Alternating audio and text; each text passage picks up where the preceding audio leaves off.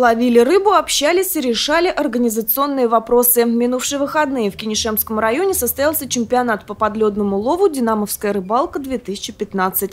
В охоте на речных обитателей посоревновались ветераны и действующие сотрудники органов безопасности и правопорядка Ивановской и Костромской областей.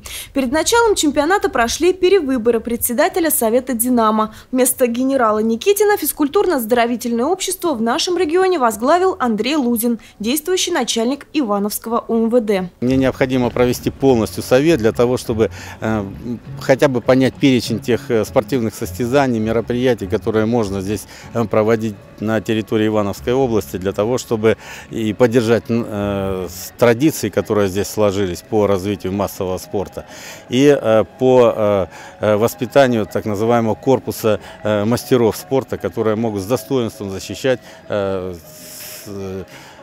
Ивановскую область. Для полицейского из Костромы Сергея Куликова удачной оказалась только седьмая по счету лунка. Выловить даже мелкую рыбешку – это целое искусство. Однако преступников, по словам Сергея, ловить куда сложнее. Рыба – это уже с опытом, наверное, приходит. А преступники в наше время все изощреннее стараются новые методы открывает, открывает. Теплый солнечный день. Для участников сплошное удовольствие. Но для рыбалки такая погода не самая удачная. Речным обитателям больше по душе пасмурное небо. В этом году соревнования прошли в меньшем количестве, чем обычно. Чем это объясняется, мы будем, конечно, выяснять.